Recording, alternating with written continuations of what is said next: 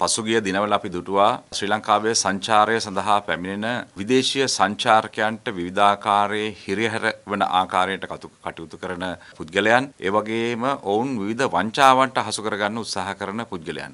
මේදී අපි විශේෂයෙන්ම දකිනවා ආහාර පාන ලබා ගැනීමේදී වෙළඳසැල් වලට ගියාම එහෙම නැත්නම් මාර්ගයේ සමහරලාට ඔවුන් මාර්ගයේ තියෙන විවිධ ආහාර ද්‍රව්‍ය රස විඳින්න ඔවුන් ආස කරනවා එවැනි අවස්ථාවලදී ඊළඟට වෙනත් මාර්ගයේ ගමන් ගන්නකොට කුලී රත ලබා ගැනීම වලදී විවිධ අවස්ථාවලදී ඒ වගේම තමයි සමහර විසිතුරු දේවල් ඔවුන් ඔවුන්ගේ රටට රැගෙන යාම සඳහා විවිධ වෙළඳසැල් වලට ගියාම ඒවා මිලදී ගැනීමේදී මේ සංචාරකගේ පැමිණීම විශාල වශයෙන් වැඩි වෙමින් පවතින ඒ වගේම දැනට වැඩි වෙලා තියෙනවා. ඉතින් මේ පැමිණෙන සංචාරකයන්ට මෙවැනි ආකාරයේ හිරිහැර කරදර සිදු කළහොත් ඔවුන් ඒවා විශේෂයෙන්ම මේ සමාජ මාධ්‍ය ජාලා හරහා YouTube හරහා මුළු ලෝකෙටම ප්‍රචාරය කරනු ලබනවා. ප්‍රචාරය කිරීම හරහා එය රටට අපකීර්තියක් ලබා දෙනවා. ඒ විතරක් නෙවෙයි ඒ සංචාරක ව්‍යාපාරයට ඍජුවම බලපානවා. එයට හානිදායක විදිහට.